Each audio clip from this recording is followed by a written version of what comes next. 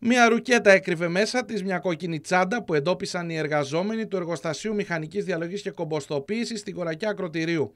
Στη θέα και μόνο του βλήματος έφυγαν από το εργοστάσιο και ειδοποίησαν την αστυνομία. Δύο πυροτεχνουργοί της ασφάλειας έφτασαν μετά από λίγη ώρα και την πήραν στα γραφεία της αστυνομικής διεύθυνσης Χανίων. Η αλήθεια είναι ότι πολλά πράγματα τοποθετούνται σε σάκους. Είναι υποχρεωμένοι οι εργαζόμενοι να ανοίγουν το σάκο για να γίνει η διαλογή των υλικών.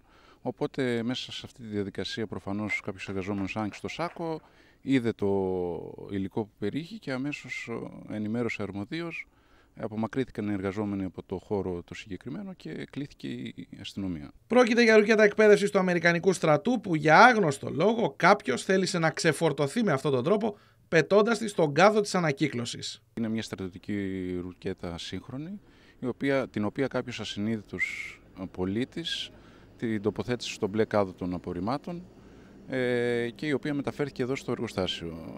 Ε, καταλαβαίνετε ότι αυτός που το έκανε θεωρούμε ότι είναι εγκληματίας. Πρόκειται μια, για μια εγκληματική ενέργεια γιατί έθεσε σε κίνδυνο τις ζωές των εργαζομένων οι οποίοι πασχίζουν για να φέρουν σε πέρα σε ένα δύσκολο έργο αυτό της διαχείρισης των απορριμμάτων Σύμφωνα με τους πυροτεχνουργούς, ήταν ανενεργοί, ωστόσο αυτό ήταν ένα στοιχείο που δεν γνώριζαν οι εργαζόμενοι, οι οποίοι και σταμάτησαν αυτομάτως τη λειτουργία του εργοστασίου και βγήκαν τρομαγμένοι στον αύλιο χώρο μέχρι να ειδοποιηθούν ότι όλα είναι καλά και να επιστρέψουν στην εργασία τους.